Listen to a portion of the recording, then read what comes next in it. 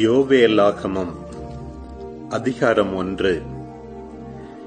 பெத்துவேலின் மகனான யோவேலுக்கு ஆண்டவர் அருளிய வாக்கு இதுவே. முதியோரே இதை கேளுங்கள். நாட்டிலுள்ள குடிமக்களே நீங்கள் அனைவரும் செவி கொடுங்கள். உங்கள் நாள்களிலாவது உங்கள் தந்தையரின் நாள்களிலாவது இதுபோன்று நடந்ததுண்டோ? இதை குறித்து உங்கள் பிள்ளைகளுக்குச் சொல்லுங்கள். உங்கள் பிள்ளைகள் தங்கள் பிள்ளைகளுக்கு கூறட்டும். அவர்களின் பிள்ளைகள் அடுத்த தலைமுறைக்கு கூறட்டும். வெட்டுப்புழு தின்று எஞ்சியதை இளம் வெட்டுக்கிளி தின்றது. இளம் வெட்டுக்கிளி தின்று எஞ்சியதை தொள்ளும் வெட்டுக்கிளி தின்றது. தொள்ளும் வெட்டுக்கிளி தின்று எஞ்சியதை வளர்ந்த வெட்டுக்கிளி தின்றழித்தது. குடிவெறியர்களே விழித்தெழுந்து அழுங்கள் திராட்சை ரசம் குடிக்கிறவர்களே நீங்கள் அனைவரும் அந்த இனிப்பான திராட்சை ரசத்திற்காக புலம்புங்கள். ஏனெனில் அது உங்கள் வாய்க்கு எட்டாமற் போயிற்று. ஆற்றல் மிக்க எண்ணிக்கையில் அடங்காத வேற்றினம் ஒன்று. என் நாட்டிற்கு எதிராய் எழும்பியிருக்கின்றது. அதன் பற்கள் சிங்கத்தின் பற்கள் பெண் சிங்கத்தின் கடைவாய் பற்கள் அதற்கு உண்டு. என்னுடைய திராட்சை கொடிகளை அது பாழாக்கிற்று. அத்தி மரங்களை முறித்து போட்டது. அவற்றின் பட்டைகளை முற்றிலும் உரித்து கீழே எறிந்தது. அவற்றின் கிளைகள் வெளிரி போயின. கணவனாக வரவிருந்தவனை இழந்ததால் சாக்கு உடை உடுத்திக் கொள்ளும் கன்னிப்பெண்ணை போல் கதறி அழுங்கள். ஆண்டவரது இல்லத்தில் தானிய படையலும் நீர்ம படையலும் இல்லாமல் ஒழிந்தன. ஆண்டவருக்கு ஊழியம் செய்யும் குருக்கள் புலம்பி அழுகின்றார்கள்.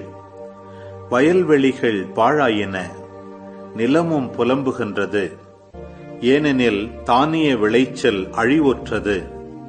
ரசம் தரும் திராட்சை கொடிகள் காய்ந்து போயின. எண்ணெய் தரும் ஒலிவ மரங்கள் பட்டு போயின. உழவு தொழில் செய்வோரே கலங்கி நில்லுங்கள். திராட்சை தோட்டக்காரர்களே அழுங்கள். ஏனெனில் கோதுமையும் வார்கோதுமையும் இல்லாமற் போயின. வயலின் விளைச்சல் அழிந்து போயிற்று. திராட்சை கொடி வாடி போகின்றது. அத்தி மரம் உலர்ந்து போகின்றது. மாதுளை பேரிந்து பேரிலந்தை போன்ற வயல்வெளி மரங்கள் யாவும் வதங்குகின்றன. மகிழ்ச்சியும் மனிதர்களை விட்டு மறைந்து போகின்றது. குருக்களே சாக்கு உடை உடுத்திக் கொண்டு தேம்பி அழுங்கள். பலிப்பீடத்தில் பணிபுரிவோரே அலறி புலம்புங்கள். என் கடவுளின் ஊழியர்களே சாக்கு உடை அணிந்தவர்களாய் இரவை கழியுங்கள். ஏனெனில் உங்கள் கடவுளின் வீட்டில் தானிய படையலும் நேர்ம படையலும் இல்லாமற் போயின. உண்ணா நோன்புக்கென நாள் குறியுங்கள். வழிபாட்டு பேரணியை திரட்டுங்கள். ஊர் பெரியோரையும் நாட்டில் குடியிருப்போர் அனைவரையும் உங்கள் கடவுளாகிய ஆண்டவரின் இல்லத்தில் கூடி வரச் செய்யுங்கள். ஆண்டவரை நோக்கி கதறுங்கள். மிக கொடிய நாள் அந்த நாள். ஆண்டவரின் நாள் அண்மையில் உள்ளது. எல்லாம் வல்லவர் அழிவை அனுப்பும் நாளாக அது வரும். உணவுப் பொருள் எல்லாம் பாழாய் போனதை நம் கண்கள் காணவில்லையா? நம் கடவுளின் இல்லத்திலிருந்து மகிழ்ச்சியும் அக்களிப்பும் இல்லாமற் போனதை நாம் பார்க்கவில்லையா? விதைகள் மண்கட்டிகளின் கீழ் மங்கிப் போயின. பண்டசாலைகள் பாழடைந்து விட்டன களஞ்சியங்கள் இடிந்து விழுந்தன. கோதுமை விளைச்சல் இல்லாமற் போயிற்று. காட்டு விலங்கினங்கள் என்னவாய் தவிக்கின்றன. மேய்ச்சல் காணா மாட்டு மந்தைகள் திகைத்து நிற்கின்றன. ஆட்டு மந்தைகளும் இன்னலுற்று தவிக்கின்றன. ஆண்டவரே நான் உம்மை நோக்கி கதறுகின்றேன். பாலை நிலத்தின் மேய்ச்சல் இடங்கள் தீக்கிரையாயின. வயல்வெளியில் இருந்த மரங்கள் அனைத்தையும் நெருப்பு சுட்டெரித்துவிட்டது நீரோடைகள் வற்றி போனதால் காட்டு விலங்குகள் கூட உம்மை நோக்கி கதறுகின்றன. பாலை நிலத்தில் இருந்த மேய்ச்சல் இடங்களை நெருப்பு விழுங்கிவிட்டது. யோவேலாகமம் அதிகாரம் இரண்டு. சியோனிலே எக்காலம் ஊதி எச்சரியுங்கள். என்னுடைய திருமலை மேலிருந்து கூக்குரலிடுங்கள். நாட்டில் குடியிருப்பவர்கள் அனைவரும் நடுங்குவார்களாக. ஏனெனில் ஆண்டவரின் நாள் வருகின்றது. ஆம் அது வந்துவிட்டது. அதுவோ இருளும் காரிருளும் கவிந்த நாள். மப்பும் மந்தாரமும் சூழ்ந்த நாள். விடியற்கால ஒளி மலைகள் மேல் பரவுவது போல் ஆற்றல் மிகு வெட்டுக்கிளிகளின் பெருங்கூட்டம் வருகின்றது. இது போன்று என்றுமே நிகழ்ந்ததில்லை. இனிமேல் தலைமுறை தலைமுறைக்கும் நிகழப்போவதும் இல்லை. அவை வரும்பொழுது தீயும் தணலும் சுட்டெரிக்கும். அவற்றின் வருகைக்கு முன் நாடு ஏதேன் தோட்டம் போலிருக்கும். அவை போன பின்போ பாலை நிலம் போல் ஆக்கிவிடும். அவற்றுக்கு எதுவுமே தப்ப முடியாது. பார்வைக்கு அவை குதிரைகள் போல் இருக்கின்றன போர்க்குதிரைகள் போல் அவை விரைந்தோடுகின்றன அவை தேர்ப்படைகளின் கிரீச்சொலி போல் இறைந்து கொண்டு சருகுகளை சுட்டெரிக்கும் நெருப்பு தணல் போல் ஒலி எழுப்பி போருக்கு அணிவகுத்த ஆற்றல் மிக்க படைகள் போல் மலையுச்சிகளின் மேல் குதித்துச் செல்லும். அவற்றின் முன் மக்களினத்தார் நடுங்குவர். அச்சத்தால் எல்லாரின் முகமும் வெளிரி போகும். அவை போர் வீரர்களைப் போல் தாவி ஓடுகின்றன. படை வீரர்களைப் போல் சுவர் மேல் ஏறுகின்றன. ஒவ்வொன்றும் தனக்குரிய பாதையில் போகின்றது. தங்கள் இலக்கை விட்டு அவை பிறழ்வதில்லை. ஒன்றை ஒன்று நெருங்குவதில்லை. ஒவ்வொன்றும் தன் வழி தவறாது செல்கின்றது. போர் கருவிகளுக்கிடையே சிக்கிக் கொண்டாலும் அவை வரிசை கலையாமல் முன்னேறுகின்றன. நகருக்குள் பாய்ந்து செல்கின்றன மதில் மேல் ஓடுகின்றன. வீடுகள் மேல் ஏறி பலகனி வழியாய் திருடனைப் போல் உள்ளே நுழைகின்றன. அவற்றுக்கு முன்பாக நிலம் நடுங்குகின்றது வானம் அசைகின்றது கதிரவனும் நிலவும் இருண்டு போகின்றன விண்மீன்களும் ஒளியிழந்து போகின்றன. ஆண்டவர் தம் படைகள் முன் முழக்கம் செய்கின்றார். அவரது பாளையம் மிக மிக பெரிது. அவர் தம் வாக்கை நிறைவேற்ற ஆற்றல் உடையவர் ஏனெனில் ஆண்டவரின் நாள் மிக கொடியது. அச்சம் தர வல்லது அதை தாங்கிக் கொள்ளக்கூடியவர் எவர்? இப்பொழுதாவது உண்ணா நோன்பிருந்து அழுது புலம்பிக் கொண்டு உங்கள் முழு இதயத்தோடு என்னிடம் திரும்பி வாருங்கள் என்கிறார் ஆண்டவர். நீங்கள் உங்கள் உடைகளை கிழித்துக் கொள்ள வேண்டாம். இதயத்தை கிழித்துக் கொண்டு உங்கள் கடவுளாகிய ஆண்டவரிடம் திரும்பி வாருங்கள். அவர் அருள் நிறைந்தவர் இரக்கம் மிக்கவர் நீடிய பொறுமையுள்ளவர் பேரன்பு மிக்கவர் செய்ய கருதிய தீங்கை குறித்து மனம் மாறுகின்றவர்.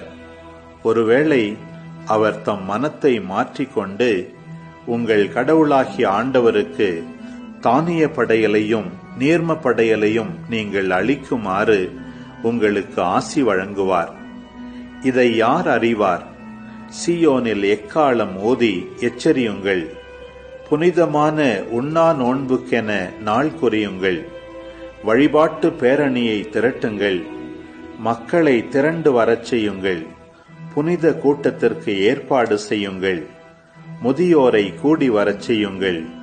பிள்ளைகளையும் பால் குடிக்கும் குழந்தைகளையும் ஒரு சேர கூட்டுங்கள். மணமகன் தன் அறையை விட்டு வெளியேறட்டும். மணமகள் தன் மஞ்சத்தை விட்டு புறப்படட்டும். ஆண்டவரின் ஊழியர்களாகிய குருக்கள் கோவில் மண்டபத்திற்கும் பலிபீடத்திற்கும் இடையே நின்று அழுத வண்ணம் ஆண்டவரே உம் மக்கள் மீது இரக்கம் கொள்ளும். உமது உரிமை சொத்தை வேற்றினத்தார் நடுவில் நிந்தைக்கும் பழிச்சொல்லுக்கும் ஆளாக்காதீர் என சொல்வார்களாக. அவர்களுடைய கடவுள் எங்கே என வேற்றினத்தார் கூறவும் வேண்டுமோ? அப்பொழுது ஆண்டவர் தம் நாட்டின் மேல் பேரார்வம் கொண்டு தம் மக்கள் மீது கருணை காட்டினார். ஆண்டவர் தம் மக்களுக்கு மறுமொழியாக கூறியது இதுவே. நான் உங்களுக்கு கோதுமையும் திராட்சை ரசமும் எண்ணெயும் தருவேன். நீங்களும் நிறைவு பெறுவீர்கள். இனிமேல் வேற்றினத்தார் நடுவில் உங்களை நிந்தைக்கு ஆளாக்க மாட்டேன். வடக்கிலிருந்து வந்த படையை உங்களிடமிருந்து வெகு தொலைவிற்கு விரட்டி அடிப்பேன். அதனை வறட்சியுற்றதும் பாழடைந்ததுமான நிலத்திற்கு துரத்தி விடுவேன். அதன் முற்பகுதியை கீழே கடலுக்குள்ளும் பிற்பகுதியை மேலை கடலுக்குள்ளும் ஆழ்த்துவேன். பிண நாற்றமும் தீய வாடையும் அங்கே எழும்பும். ஏனெனில் அது பெரும் தீச்செயல்களை புரிந்தது. நிலமே நீ அஞ்சாதே மகிழ்ந்து களிகூறு. ஏனெனில் ஆண்டவர் பெரிய காரியங்களை செய்தார். காட்டு விலங்குகளே அஞ்சாதிருங்கள். ஏனெனில் பாலை நில புல்வெளிகள் பசுமையாயிருக்கின்றன. மரங்கள் கனி தருகின்றன அத்திமரமும் திராட்சை கொடியும் மிகுந்த கனி கொடுக்கின்றன. சீயோனின் பிள்ளைகளே அகமகிழுங்கள். உங்கள் கடவுளாகிய ஆண்டவரை முன்னிட்டு களிப்படையுங்கள். ஏனெனில் அவர் தமது நீதியை நிலைநாட்ட உங்களுக்கு முன்மாரியை தந்தார். முன்போலவே உங்களுக்கு முன்மாரியையும் பின்மாரியையும் நிறைவாக தந்தருளினார். போரடிக்கும் களங்களில் கோதுமை நிறைந்திருக்கும். ஆலைகளில் திராட்சை ரசமும் எண்ணெயும் வழிந்தோடும். நான் உங்களுக்கு எதிராக அனுப்பிய என் பெரும் படையாகிய வெட்டுப்புழுக்கள் இளம் வெட்டுக்கிளிகள் துள்ளும் வெட்டுக்கிளிகள் வளர்ந்த வெட்டுக்கிளிகள் ஆகியவை அழித்துவிட்ட பருவ பலன்களை உங்களுக்கு மீண்டும் தருவேன். நீங்கள் வேண்டிய மட்டும் உண்டு நிறைவடைவீர்கள். உங்களை வியத்தகு முறையில் நடத்தி வந்த உங்கள் கடவுளாகிய ஆண்டவரின் பெயரை போற்றுவீர்கள். இனிமேல் என் மக்கள் ஒருபோதும் நிந்தைக்கு உள்ளாக மாட்டார்கள். இஸ்ராயேல் நடுவில் நான் இருக்கிறேன் என்றும் ஆண்டவராகிய நானே உங்கள் கடவுள் என்றும் என்னையன்றி வேறு எவரும் இல்லை என்றும் நீங்கள் அறிந்து கொள்வீர்கள். இனிமேல் என் மக்கள் ஒருபோதும் நிந்தைக்கு உள்ளாக மாட்டார்கள். அதற்கு பின்பு நான் மாந்தர் யாவர் மேலும் என் ஆவியை பொழிந்தருள்வேன். உங்கள் புதல்வரும் புதல்வியரும் இறைவாக்கு உரைப்பர். உங்கள் முதியோர் கனவுகளையும் உங்கள் இளைஞர்கள் காட்சிகளையும் காண்பார்கள். அந்நாள்களில் உங்கள் பணியாளர் பணிப்பெண்கள் மேலும் என் ஆவியை பொழிந்தருள்வேன். இன்னும் விண்ணிலும் மண்ணிலும் வியத்தகு செயல்களை செய்து காட்டுவேன். எங்குமே இரத்த ஆறாகவும் நெருப்பு மண்டலமாகவும் புகைப்படலமாகவும் இருக்கும். அச்சம் தரும் பெருநாளாகிய ஆண்டவரின் நாள் வரும் முன்னே கதிரவன் இருண்டு போகும். நிலவோ இரத்தமாக மாறும். அப்பொழுது ஆண்டவரின் திருப்பெயரை சொல்லி வேண்டுவோர் யாவரும் தப்பி பிழைப்பர். ஏனெனில் ஆண்டவர் கூறிய வண்ணமே சியோன் மலையிலும் எருசலேமிலும் எஞ்சியிருப்போர் வாழ்வு அடைவர். ஆண்டவரால் அழைக்கப்பட்டவர்களே தப்பி பிழைப்பார்கள். யோவேலாகமம் அதிகாரம் மூன்று. அந்நாள்களில் நான் யூதா எருசலேம் ஆகியவற்றின் துன்ப நிலைமையை மாற்றி முன்பு இருந்த நிலைமைக்கே கொண்டு வருவேன். அப்பொழுது நான் வேற்றினத்தார் அனைவரையும் ஒன்று சேர்த்து யோசபாத்து பள்ளத்தாக்கிற்கு இறங்கி வரச் செய்வேன். அங்கே நான் என் மக்களும் உரிமை சொத்துமாக்கிய இஸ்ரேலை முன்னிட்டு அவர்களுக்கு எதிராக தண்டனை தீர்ப்பு வழங்குவேன். ஏனெனில் அவர்கள் என் மக்களை வேற்று நாடுகளில் சிதறடித்தார்கள். எனது நாட்டை தங்களுக்குள் பங்கிட்டுக் கொண்டார்கள். என் மக்கள் மேல் சீட்டு போட்டார்கள். ஆண் பிள்ளையை விலைமகளுக்கு கூலியாய் கொடுத்தார்கள். பெண் குழந்தையை விலையாய் கொடுத்து திராட்சரசம் வாங்கி குடித்தார்கள். தீர் சீதோன் நகரங்களே பெலிஸ்தியா நாட்டின் அனைத்து பகுதிகளே எனக்கும் உங்களுக்கும் என்ன வழக்கு? என்னை முற்றிலுமாக பழிவாங்குவது உங்கள் எண்ணமோ? அவ்வாறு நீங்கள் பழிவாங்கினால் நான் காலந்தாழ்த்தாமல் நீங்கள் செய்ததையே உங்கள் தலைமேல் வெகு விரைவில் விழச் செய்வேன். நீங்கள் என் பொன்னையும் வெள்ளியையும் எடுத்துக்கொண்டீர்கள். விலையுயர்ந்த பொருள்களை உங்கள் அரண்மனைகளுக்கு அள்ளிக்கொண்டு போனீர்கள்.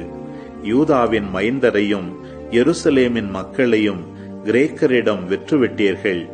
இவ்வாறு அவர்கள் தங்கள் நாட்டை விட்டு வெகு தொலைவிற்கு போகச் செய்தீர்கள். நீங்கள் விற்றுவிட்ட இடத்திலிருந்து அவர்களை இப்பொழுதே கிளர்ந்தெழச் செய்வேன். நீங்கள் செய்த கொடுமையை உங்கள் தலைமேலேயே விழச் செய்வேன். உங்கள் புதல்வரையும் புதல்வியரையும் யூதா மக்களிடமே விற்றுவிடுவேன். யூதா மக்களோ அவர்களை தொலைநாட்டவரான செபாயரிடம் விற்றுவிடுவார்கள். இதை கூறுவது ஆண்டவரே. வேற்றினத்தாரிடையே இதை பறைசாற்றுங்கள். போருக்காக நாள் குறித்து போர் வீரர்களை கிளர்ந்தெழச் செய்யுங்கள். படை வீரர்கள் அனைவரும் திரண்டு வந்து போருக்கு கிளம்பட்டும். உங்கள் கலப்பை குழுவை போர்வாளாக அடித்துக் கொள்ளுங்கள்.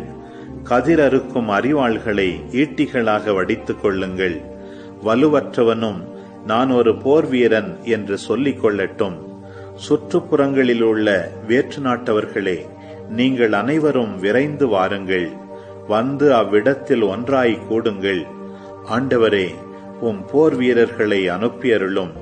வேற்றினத்தார் அனைவரும் கிளர்ந்தெழட்டும். கிளர்ந்தெழுந்து யோசபாத்து பள்ளத்தாக்கிற்கு வந்து சேரட்டும். ஏனெனில் சுற்றுப்புறத்து வேற்றினத்தார் அனைவருக்கும் தீர்ப்பு வழங்க நான் அங்கே அமர்ந்திருப்பேன். அறிவாளை எடுத்து அருங்கள். பயிர் முற்றிவிட்டது. திராட்சை பழங்களை மிதித்து பிழியுங்கள். ஏனெனில் ஆலை நிரம்பி தொட்டிகள் பொங்கி வழிகின்றன. அவர்கள் செய்த கொடுமை மிக பெரிது. திரள் திரளாய் மக்கட்கூட்டம் தீர்ப்பு வழங்கும் பள்ளத்தாக்கில் திரண்டிருக்கிறது. ஏனெனில் ஆண்டவரின் நாள் அப்பள்ளத்தாக்கை நெருங்கி வந்துவிட்டது. கதிரவனும் நிலவும் இருளடைகின்றன. விண்மீன்கள் ஒளியை இழக்கின்றன. சியோனிலிருந்து ஆண்டவர் கர்ச்சனை செய்கின்றார். எருசலேமிலிருந்து அவர் முழங்குகின்றார். விண்ணும் மண்ணும் அதிர்கின்றன. ஐயனும் ஆண்டவரே தம் மக்களுக்கு புகலிடும். இஸ்ராயேலருக்கு அரணும் அவரே. நானே உங்கள் கடவுளாகிய ஆண்டவர் என்றும் நான் என் திருமலை ஆகிய சீயோனில் குடியிருக்கிறேன் என்றும் அப்பொழுது நீங்கள் அறிவீர்கள். எருசலேம் தூயதாயிருக்கும் அந்நியர் இனிமேல் அதை கடந்து செல்ல மாட்டார்கள். அந்நாளில் மலைகள் இனிய புது ரசத்தை பொழியும். குன்றுகளிலிருந்து பால் வழிந்தோடும். யூதாவின் நீரோடைகளிலெல்லாம் தண்ணீர் நிரம்பி வழியும். ஆண்டவரின் இல்லத்திலிருந்து நீரூற்று ஒன்று கிளம்பும். அது சித்திமில் உள்ள ஓடைகளில் பாய்ந்தோடும். எகிப்து பாழ்நிலமாகும். ஏதோம் பாழடைந்து பாலை நிலமாகும் ஏனெனில் அவர்கள் யூதாவின் மக்களை கொடுமைக்கு உள்ளாக்கினார்கள். அவர்களின் நாட்டிலேயே குற்றமற்ற இரத்தத்தை சிந்தினார்கள். யூதாவோ என்றென்றும் மக்கள் குடியிருக்கும் இடமாயிருக்கும். எருசலேமில் எல்லா தலைமுறைக்கும் மக்கள் குடியிருப்பார்கள். சிந்தப்பட்ட இரத்தத்திற்கு நான் பழிவாங்கவே செய்வேன். குற்றவாளிகளை தண்டியாமல் விடேன். ஆண்டவராகிய நான் சீயோனில் குடியிருப்பேன்.